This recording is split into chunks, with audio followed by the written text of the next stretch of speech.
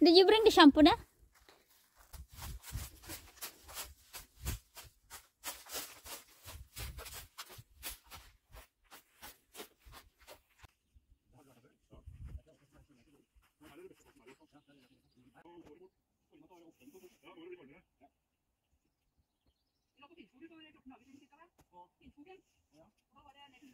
Hello, hello. Good morning, good afternoon, good evening sa inyo. Dito ay afternoon. May akong shampoo. Nakita nyo naman si Maylaban doon sa ilog. Lumangoy at naligo. Nandito kami ngayon sa wild camp na naman ulit. As usual, kapag summer, ganito ang aming buhay. Lagi kaming nasa tent. Dati, 2 years ago, lagi kaming nasa karaban. Ibinenta namin yung karaban namin nito lang na 2023 kasi nga ay may pinaglalaanan kami ng pera kaya bumili nga kami ng ganitong tent. Pero marami kaming tent. Ang kaso ay ano, tawag dyan, yung mga maninipis lang. Itong thermal ang first time namin na tent na makapal. So, ayun na nga summer ngayon, kapag ganitong summer, kami ay laging nasa camping. Hindi kami napipermis ng bahay. Umuwi man kami ng bahay ay mga 2 days lang in a week. Maglalaba lang ganun. Tapos, gre-repack lang ng aming bag ulit. Tapos, camping na naman. Pero, minsan naman, sa camping site ay meron silang ino-offer na labahan. Kapag yung binabayaran mo yung campsite, kaya doon kami naglalaba. Pero pag ganitong wild camp lang, walang mga ano, walang mga access sa labahan sa shower, yung may mga bayad ba? Wala kasi wild camp lang to, kumbaga mga punong kahoy lang ang makikita mo. Tapos lake, ganon. Pero free naman to, wala kang babayaran. Ayun na nga.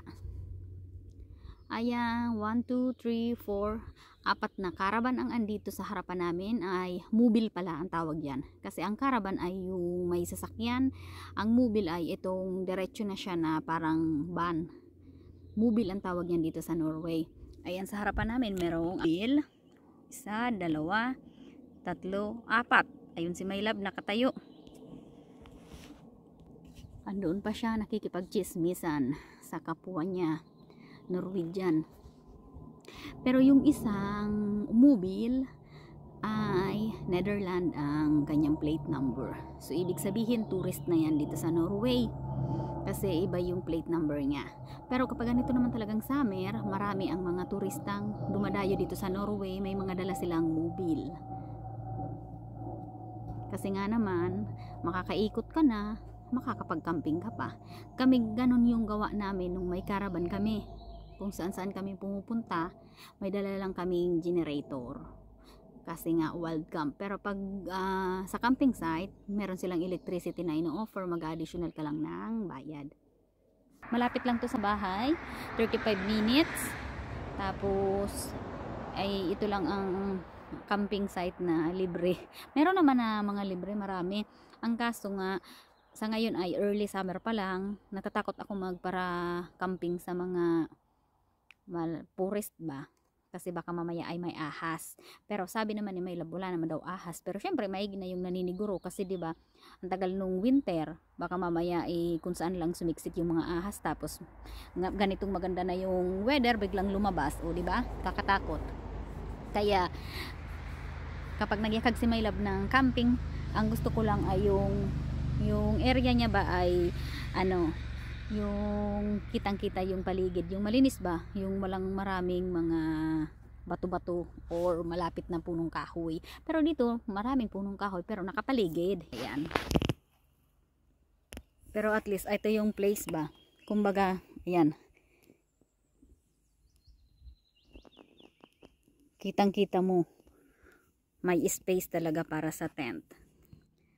Ito tambak na yan dyan. Matagal na yan dyan noong unang pag ano pa namin dito pag camping andyan na yan nung mga nakaraan pwede mag ano dyan pwede mag sunog pero ngayon nga early summer na bawal na kapag kapag gumawa ka ng apoy mamaya ay magka-penalty ka pa. Kaya, bawal na. Kasi dry na dry na yung mga palibot ba. Baka mamaya ay magkaroon ng wildfire. Maya maya ako ay mag-iihaw ng pork chop sa hotdog dinner namin. Pero kumain naman kami sa bahay kaninang las 12 bago kami umalis. Kasi nga para magkain man kami ngayon ay hindi na kami kakain ng kanin or kaya patatas. Papapak na lang ako ng pork chop tapos hotdog with bread. Ayun na lang ang aming pagkain.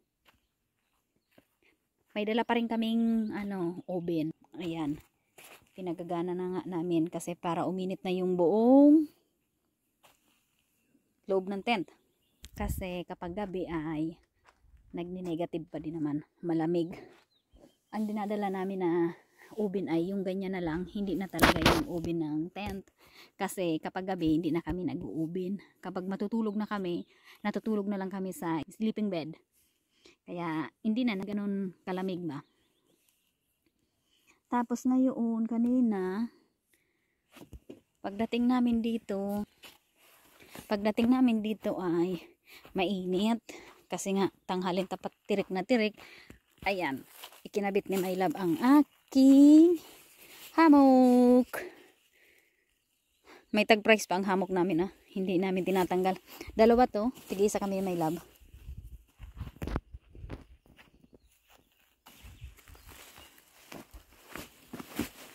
ayan o diba kung napansin nyo yung isang mobil doon sa baba, meron din siyang hamok. Hindi ako sigurado kung matutulog ba siya sa hamok or ano. Kami ay hindi pa pwedeng matulog sa hamok kasi nga malamig pa. Ayaw pa namin.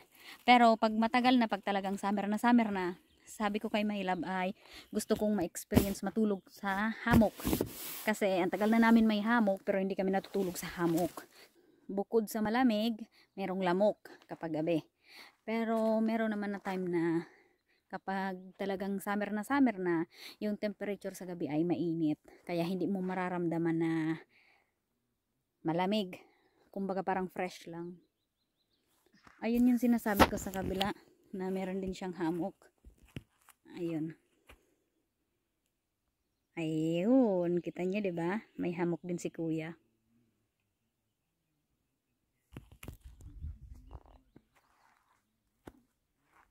Ayusin ko na nga yung aking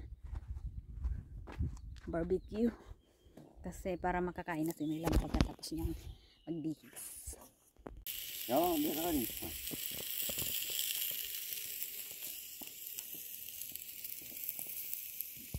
det stämmer. the next day. ito ang aming breakfast for today bacon, egg saka stranda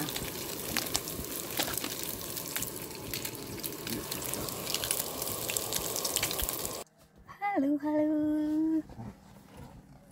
Paalis kami na may lab. Uwi kami ng bahay. Kakain kaming dinner. Tapos, baka mag-swimming kami mamayang gabi. Hindi ako sigurado. Ayun si my lab sa tent. Kausap yung isa sa mga aming kapitbahay dito sa campsite. Ayun.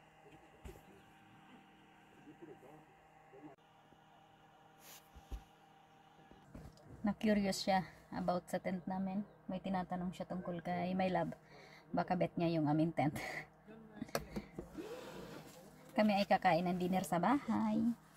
Tapos, babalik din naman kami dito sa campsite.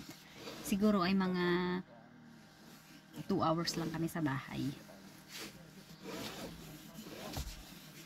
Tapos, mag-charge din kasi kami nung ikoplo.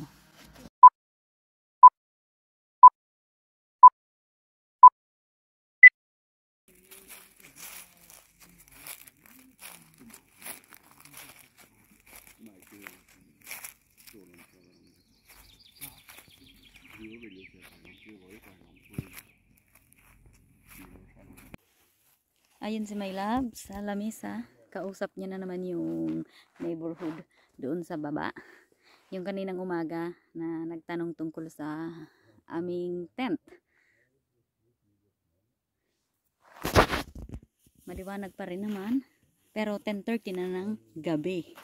Maya maya ay papasok na ako. Dapat matutulog kami dito sa hamok na ito. Tigisa kami ni My Love na hamok.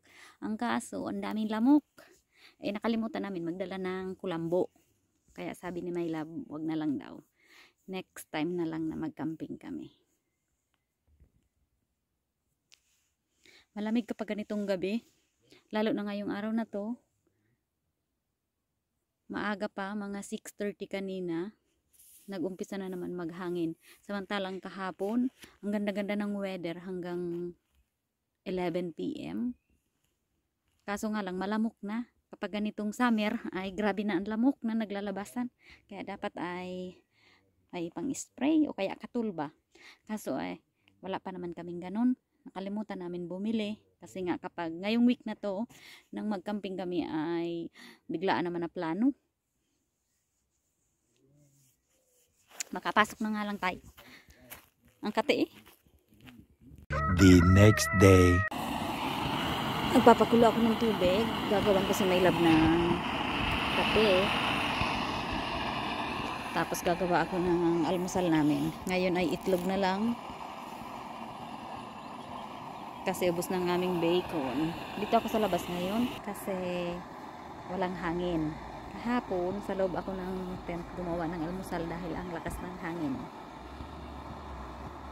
Kapag nagka-camping, messy hair, don't care walang suklayan. Ayan ang tinatawag na caravan, nakakonekta sa sasakyan. Tapos yung isang maliit na mobile or van ay umalis na. Tapos tinatanggal na yung sasakyan kapag ayan ay nakatayo na ng ayos. Ganyan yung amin dati. Caravan ang tawag dyan. Ako palang kakain kasi may lab tulog pa. Hindi ko siya ginigising kapag ganitong maaga pa.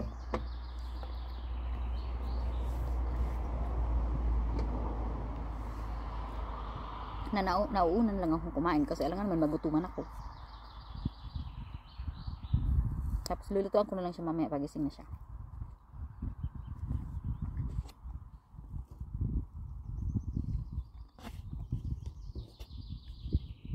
Gabi na kasi siya kung matulog. Nanonood pa siya ng Netflix. Kahit nakatent kami, meron kaming Netflix. Dala-dala lang namin yung aming tablet.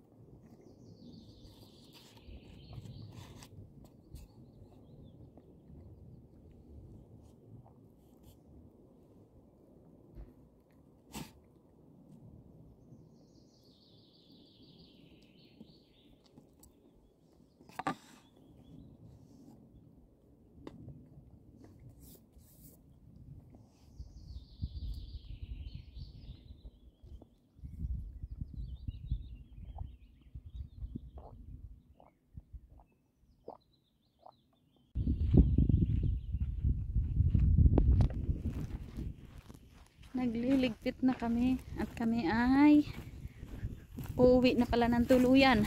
Akala ko magdi-dinner lang kami sa bahay. Nag-change plan si my lab. Kasi bukas ay meron siyang acupuncture. Ma gagahol kami sa oras. Kaya sabi niya ay sa bahay na lang kami matutulog. Tapos bukas, pagkatapos ng kanyang treatment, saka na lang kami mag-decide kung kami ba ay magkakamp ulit or kung saan kami pupunta. Ayan ang basurahan dito. Apat.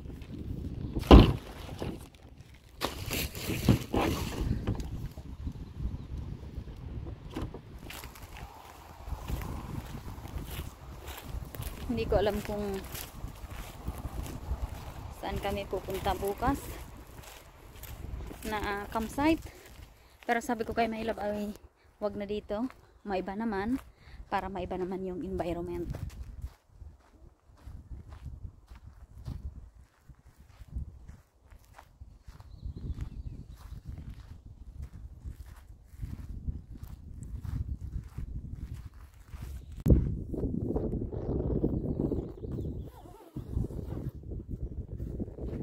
Babe.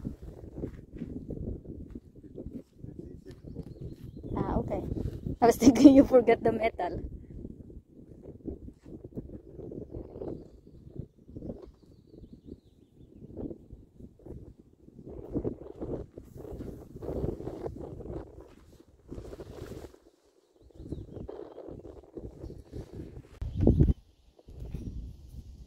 I will throw this water.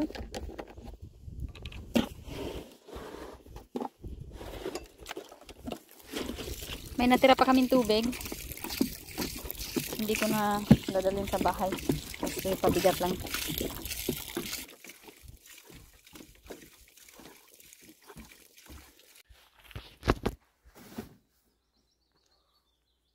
Finish.